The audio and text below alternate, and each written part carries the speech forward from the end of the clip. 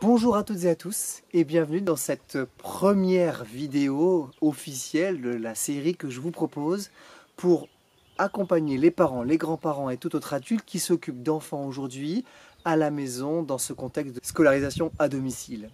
Alors, pour démarrer cette euh, série, je souhaite poser fondement, mettre les choses au clair. Parce que depuis une semaine, et un peu plus pour certains départements où les écoles sont arrêtées plus tôt, nous entendons parler en permanence de continuité pédagogique.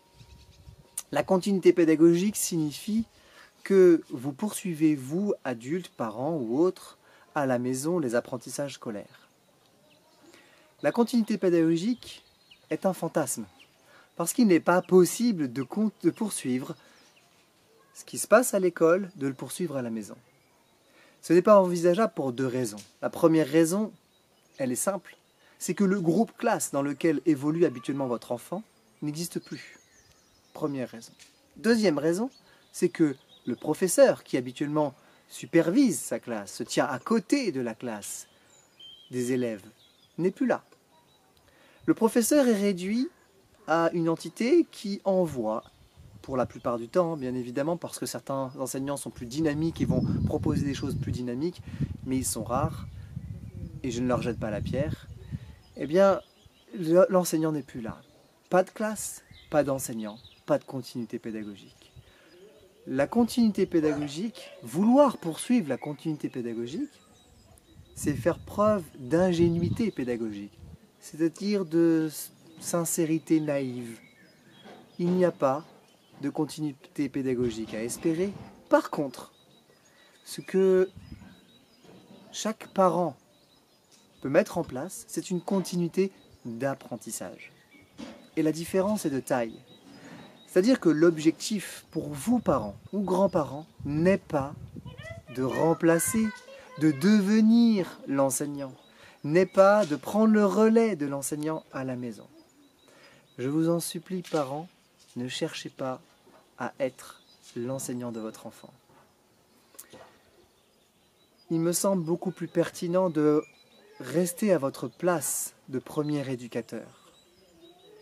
Vous êtes, vous demeurez les éducateurs de vos enfants, et simplement dans ce contexte si particulier de fermeture des écoles et de confinement, votre rôle est de faciliter, de favoriser l'apprentissage de vos enfants.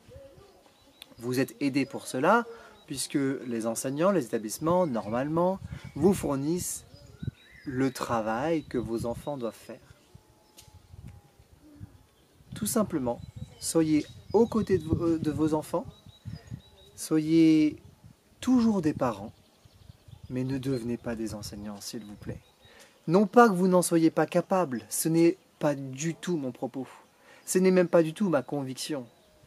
Mais soyons honnêtes, depuis combien de décennies le pays dans lequel nous vivons fait la séparation, divise le rôle de parent et le rôle d'enseignant? Du jour au lendemain, de vouloir réassocier ces deux figures, parents-enseignants, bah, c'est aller droit au clash, c'est aller droit au conflit avec vos enfants. Et peut-être que certains parents l'ont expérimenté dans ces jours. Voulant adopter une posture d'enseignant, ils se sont retrouvés en totale opposition, en total conflit avec leur enfant. Parce que votre enfant n'est pas dupe. Ça fait depuis qu'il est né que on lui on le formate à cette idée qu'il y a d'un côté les parents, il y a d'un côté les enseignants.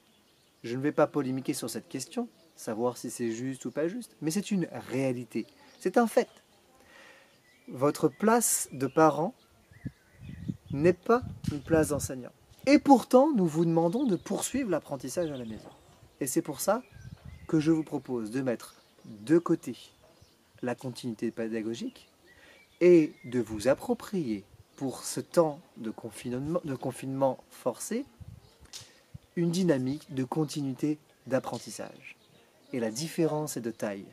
La différence est de taille et ce qui va y avoir comme conséquence, eh bien, c'est que la relation avec votre enfant ou vos enfants va être différente. Voilà pour euh, cette première vidéo. Premier outil.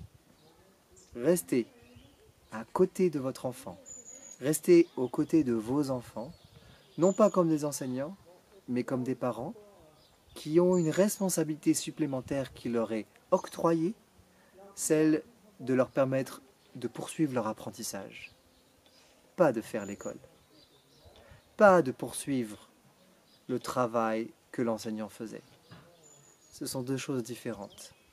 Et poser ces fondements-là, clarifier cela, va vous permettre, vous, de vous ôter une certaine pression, va aussi vous permettre d'adopter une autre posture vis-à-vis de votre enfant.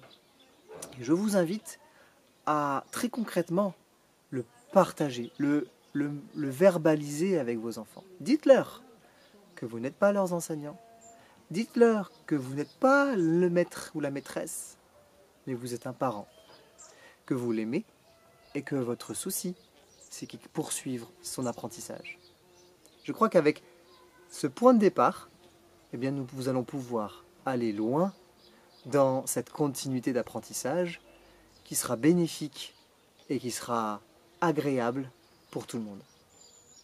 Je vous dis à demain pour la suite de toutes ces réflexions, de tous ces outils que j'ai à cœur de vous donner pour vous faciliter la tâche.